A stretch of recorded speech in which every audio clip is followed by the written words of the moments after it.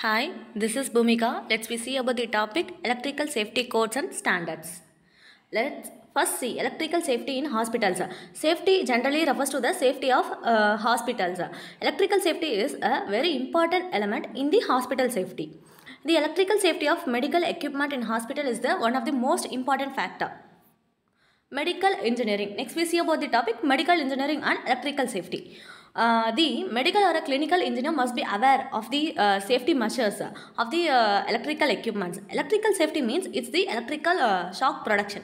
The mechanism, let's we see about the mechanism of the electrical shock. Electrical shock occurs uh, when an victim is a part of the electrical circuit, which is that an electrical current can flow and has the ability to harm the victim. That means consequently that there must be a simultaneous two-point contact of the victim within the electrical shock circuit.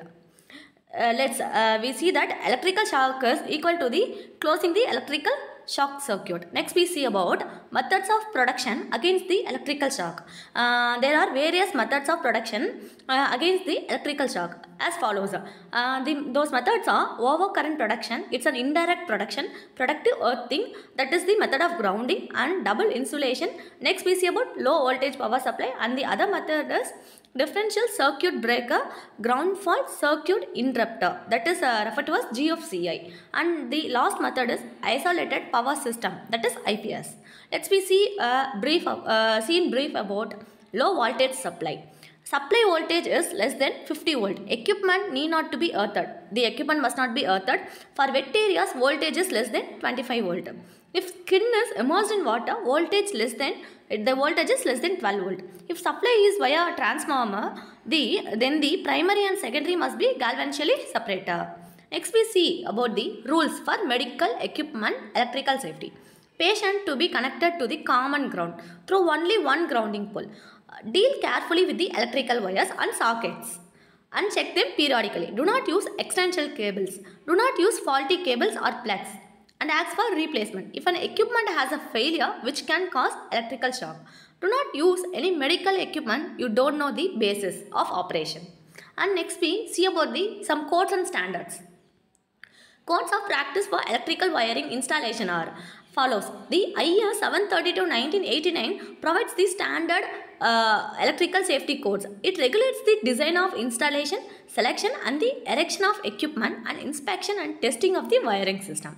Next, the next code is code of practice for earthing. Some codes are there for the practice of earthing. It is IS 3043 1987 standard which is pertains to the earthing in electrical installations.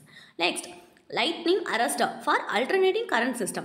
The IS 3070 1993 standard pertains to the electrotechnical section that deals with the surge arresters. This section regulates identification, rating, classification and testing procedure of arresters. There are some, call, uh, some codes as follows. IS 1930 General and Safety Requirement of Electrical Lighting Lights.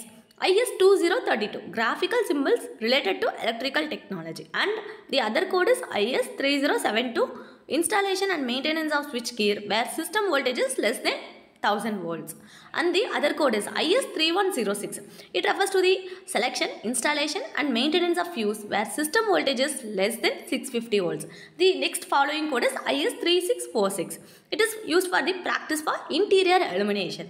The next code is IS 375 making an arrangement of switchgear bus bars, main connections and auxiliary winding. The next code referred is IS694 PVC, insulating cables with copper conductors for voltage up to 100 volts. The next code as follows IS4237 requirements for switch gears and control gears up to the voltage of 1000 volts. Let, uh, let's be, see the conclusion.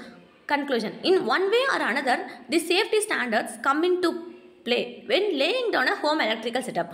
Uh, let's we conclude that the electrical safety is the most important factor which is required in many places uh, like hospitals, not only in hospitals but also in operators and uh, in every possible places the electrical safety is very important. Thank you. That's all. Thank you.